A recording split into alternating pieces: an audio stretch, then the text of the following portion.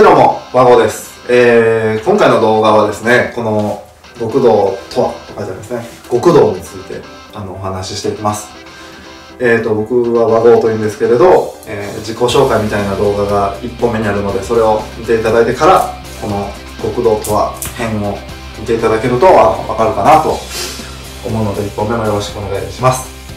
えーでは、極道とはについて話していきます。極道と意味なんですけど、えー、とまずこう極める道、まあ、道を極めるっていう意味です。あのまあまあそれでまあ全部終わっちゃうんですけど意味としては。えっ、とね極道って聞くと何を連想するかっていうとやっぱり僕はですけどあのやっぱり薬剤屋さん連想しちゃいますね。で極道って聞くとやっぱ、まあ、見ておられる方もあの極道といえばヤクザって思うと思うんですけどあの、まあ、確かにそれはそうなんですけどじゃあなんでヤクザが極道なのかっていうとこなんですよ。でね、えーそれをちょっと話していきます、えーまずですねえっ、とヤクザになる前は一体何なのかっていうと、えー不良です。でちょっと、えー不良ヤンキーのところヤンキーの話からいきますね、えっとなぜ人はグレるのかっていうとあのその人の、えーまあ親のせいです。親のせいでグレるんです子供は。だから、えーうちの子がグレて大変やとかえー、というふうに思うならば自分のせいですそれは。親のせい。親のせいで不良になるんです。これはちょっと覚えておいてほしい。でねあの100%グレる子っていうのはグレグレさせる方法があるんですけど子供を。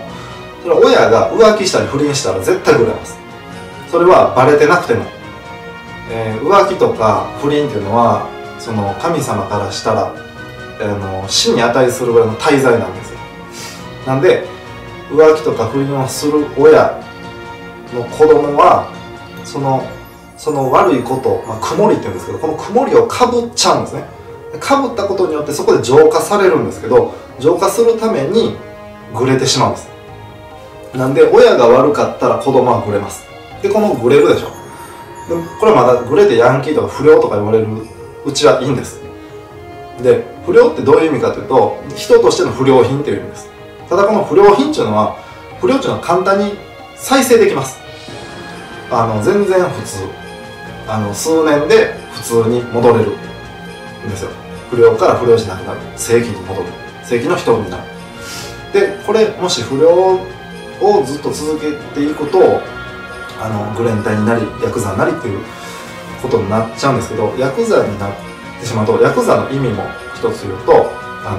の煮ても焼いても串刺しにしても食えないっていうことがヤクザです。なのでヤクザになっちゃうとなかなか再生しにくいんですよ。でなぜかっていうと例えばまあ、えー、と刑務所に捕まったり破門になったり何かの理由でこう辞めれたりしたしてもやっぱりその習性として、あの人の弱みを探してみたり聞き耳立てて過ごしちゃうんですね。そういうのが身についてしまうからヤクザまでなってしまうとなかなかその再生はしにくいんです、まあ、できひんことはないんですけどしにくい。でですねあの今現在この平成29年現段階で極道っていうヤクザ屋さんっていうのは少ないんですよ。えーとね、これ昭和の話からします。昭和っていうのは、えーこの宗教的に話すとっていうかその見えない世界的に話すとあの昭和っていうのはちょっと夜の時代だったんですよ。で夜の時代どういうことかっていうと昭和は、えー例えば権力者、まあ、政治家とか、えー警察の所長とかそういう偉い人たちの汚職事件。えー例えば小さなので言ったら飲酒運転で捕まったとか、えー大きいので言ったら脱税したとかまあそういうなんですかね政治の資金税金を私利私欲で使ったとかそんなんをしててもバレにくかった時代が昭和。逆にいいことしててもそれもあんまり分かってもらえへんかった時代が昭和。でこの昭和の時代にですねあの極道ヤクザの極道さんは実際いはったんですよ。でこの極道っていうのは道を極めるってことなんですけど道を極めるために必要なものっていうのは、えー、義理と人情と仁義とかそういう、えーとね、心がないと極道には道を極めることができなかったんです。で実際その時代のヤクザの方は極道の方が多かったんですよ。例えば親分のために、えーと、命を張れる。で親分のために何かをするっていうえー、と何ていうんですかね。例えば親分のために何かをしても自分に全く得がなくても親分にだけ得がある。でもそそれいうことでもあの進んでしたのが極道なんですよ。で、えー、要はその警察が当時ですよ昭和の時代。警察が取り締まれなかったことも極道屋さんがしてくれはったんです。要はすごいいいバランスが取れたんですよ。ただのヤクザじゃないんですよ。似て巻いても食えへん。そういうヤクザだけじゃなくて本物の極道がいたんです。要は義理人情仁義っていうのは突き詰めていくと結局感謝っていう感情になるんですよ。でそれを持ってた人たちが極道なんです。だから決して、えー、悪いというか、まあ、ヤクザなんで悪いんですけど決して不必要ではなかった。ですね。だから必要悪やったんです。必要悪っていうのはすなわちある意味も善なんですよ。でこの平成の世の中になった時に、えー、昭和で夜やったのがちょっとねこう昼までいかないんですけど朝ぐらいこう太陽が昇り出したよぐらいちょっと明るくなってきたのが平成が今の世の中なんですね。でちょっと明るくなってきたんで、えー、さっき言ったようなその時の権力者たち政治家とか、えー、警察の方とかよしと言われてる方たちあのなんていうんですか？聖職者っていうか公務員とかあのまさかその犯罪を犯すような職業じゃない人たちの犯罪があの浮き彫りになってきて悪いことしたらバレるっていう。だからあのワイドショーとかでもあの政治家の人たちがこう不倫したよとか、えーと、脱税してたよとかこうやってお金だまくらかしてたよとかいうのがバレるのがこの平成の世の中逆にええことしても、えーと、バレるんです。バレるっていう言い方おかしいですけどいいことしてもみんなに分かってもらえる世の中が平成。でこの平成になった時にぐらいからあのこのさっき言った極道ヤクザの極道がほとんどいなくなったんですよ。だから今のそのヤクザ屋さんっていうのは例えば親分のために一個も自分は得せえへんけど親分のために命かけるっていう人はまあほとんどいないらしくて親分は親分で、まあ、そういうその義理と人情や何や仁義やっていうのもない人要はその金金銭ですね。お金をどんだけ稼げるかみたいな。なってきてしまったんで必要な悪じゃなくなったんですよ。やし暴対法ができてあの暴力団というのがその取り締まられてるんですけど必要悪の時はそんなんがなかったんです。必要やったから。今はもう必要悪でもないくなったから防体法ができて動きにくくななされてるっていうのがまあ現状で、まあ、極道がいないからです。で本間の極道っていうのはこれヤクザとかヤクザじゃないとか関係なく例えばえっ、ー、とそうですね何かに夢中な人、えー、例えばスポーツでもいいです。テニスだろうがラグビーだろうサッカーだろうが野球だろうがそれを極めたなって言われてる人たちは極道です。でこの人たちのあの言葉や行動っていうのはやっぱりあのすごいんですよ。でその方たちっていうのは極めきってるわけ極道はね極めきってるわけじゃないです。極めようとして突き進み続けてるのが極道なんですよ。死ぬまでゴールなんてないんですよ。だからトップ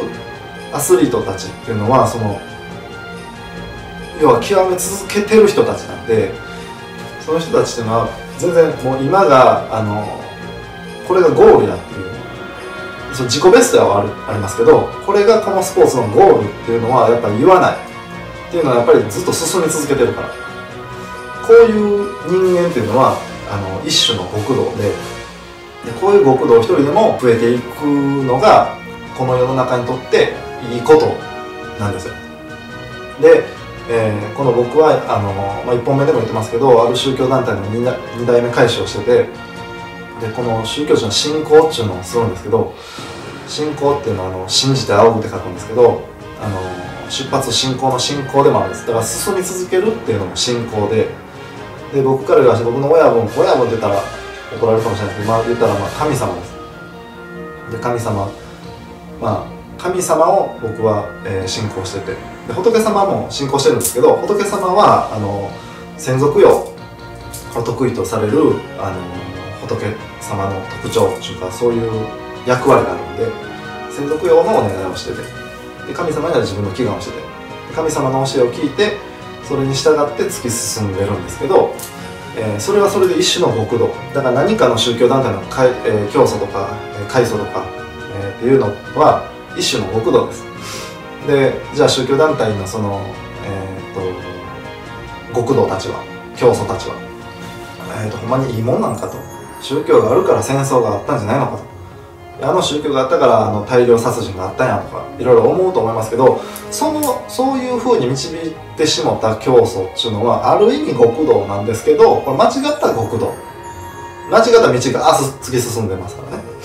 でほんまもんっていうのは間違ってない道を突き進むのがほんまもんの極道で、ま、その悪い方向に行った人もこれほんまは途中でベクトル変えてあげたらすごい突き進める一本筋の通った人間なんですけどどっかで飲まれちゃうんですよね。あのお金の欲とか、えー、とあと性欲とか、まあ、そういう欲望に飲まれてしもて初めまっすぐあった気持ち多分あった人もいるでしょ飲まれちゃう政治家でもそうです。あの世の中を良くしたいなと思って立候補してあの入ってしまうけどいろんな欲に飲まれてしもて違う方向をそれちゃって自分のことしか考えへんというふうになるんですよ。これはもう極道ではない出だしは極道を極道を極めようと思った人たち。けど極め続けているのが極道なんでやめることはないんですよ死ぬまで。そういう人間が一人でもあの一人でも多く、えできてくるとあの世の中はすごく良くなりますし、えー、と違う動画で言いましたけど人工知能の話してる動画があるんですけど、えー、と人工知能行き着く先は結果から言うとあのミュータント対人間の戦いなんですよ。機械対精神の戦いになるんですよその時に唯一戦えるのは極道のみなんです。機械に勝てる精神を持ってるやつしか勝てない。どんな戦いになるかというとほんまにあの「スター・ウォーズ」みたいな剣振り回してるっていう戦いです。でもこの人間の精神の極道たちが持っている武器っていうのは剣とかいろいろあるんですけどえっ、ー、と物質的な剣じゃないんですよ。霊的な、まあ、想念的な。でもほんまに見えてるんです。っていう剣と機械との戦い。なので極度が一人でも増えれば増えるほど、えー、人類にとってもいいことですし、まあ、一人生においても例えば料理を極めようっていう奥さんがいたら料理を極めたらいいんですそれも極道です。料理が一個も譲らんちゅうね。で気付いたら世界一の料理人になってましたと。免許もないけど。それでもいい。それはそれで人間としての深みもすごいし道を一つ極め続けてるっていうあの精神力がある。機械にも負けない。だから人に生まれたからには何かを極め続けるっていうただその極めるものっていうのはあの見誤あの誤らずに決めて、えー、しっかりしたものをあこれでいこうっていうのを決めてで突き進んでいける人間そういう人生を送ってもらうと人生も、えーと、楽しくなるし周りにやってくる人たちもあのその突き進んでる人たちに引っ張られてくる人たちばっかりなんで基本的にはみんな味方ばっかりなのであのそういうふうに人生を進んでいってほしいなと思います。なので、えー、今回極道の話でしたが、えー、と道を極め続けるっていうのが人としての在り方じゃないかなと思います。で僕の中の極道というのはその僕は神様がおられてその神様の教えを守って突き進み続けるっていうのが、えー、極道の中でも一番強い極道だなと思ってます。えー、そういう意味やとややでっていうのをあの分かってもらえるといいかなとこの動画でも思います、えー、極道とはこれからみんな、えー、極道に対してのイメージを、えー、極道イコールヤクザではなくて極道っていうのはすごいんやっていうのだけ分かってもらえたらいいなと思います、えー、今回も最後まで見ていただいてありがとうございました。